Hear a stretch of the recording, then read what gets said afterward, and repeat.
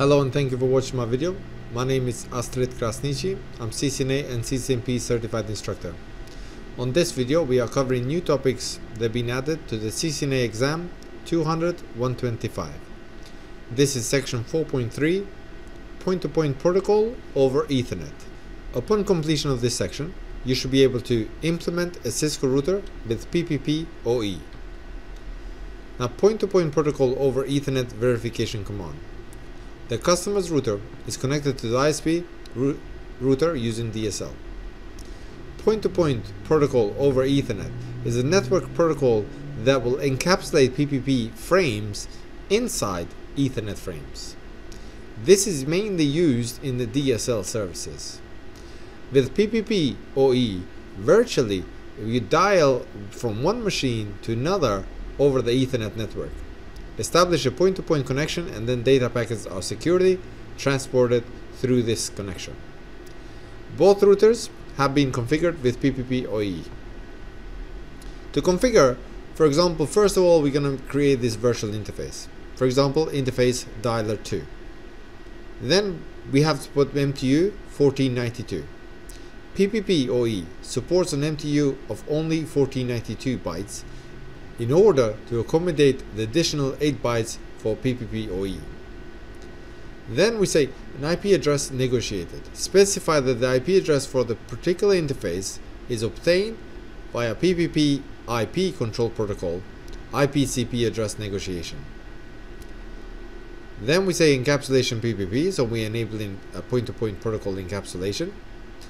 Then we say dialer pool 2. Specify the dialing pool the dialer interface uses to connect to a specific destination network or subnetwork. PPP authentication CHAP, so we're enabling CHAP authentication and the word call in. Now if we put the word call in, the initiating router does not challenge the remote server. But without the call in, when you enable PPP, then you need to, uh, there's like a mutual authentication, yeah? You authenticate in the server, the server has to authenticate you. No, if you put the call in, only the server will authenticate you. Then we say PPP CHAP hostname customer 1, PPP CHAP password, Cisco PPP OE. And then we uh, go to the interface and we enable PPP OE.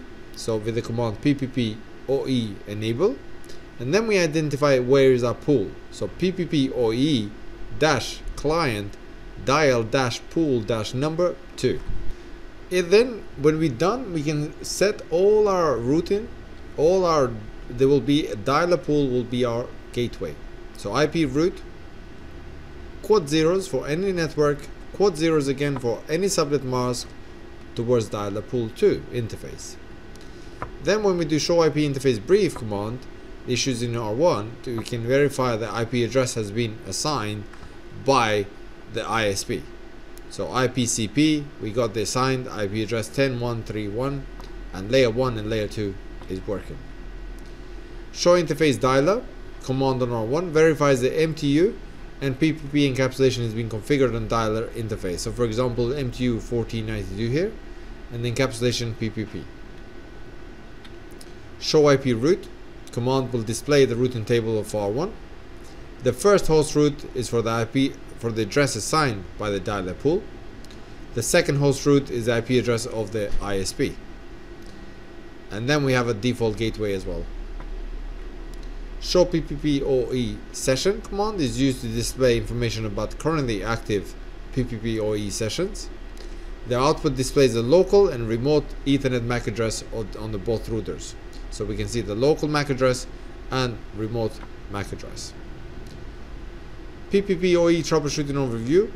After ensuring that the client router and DSL modems are connected with the proper cables, one or more following reason is usually the cause of PPPoE connection that is not working properly. Failure in the PPP negotiation process. It's going to either be a negotiation or authentication problem.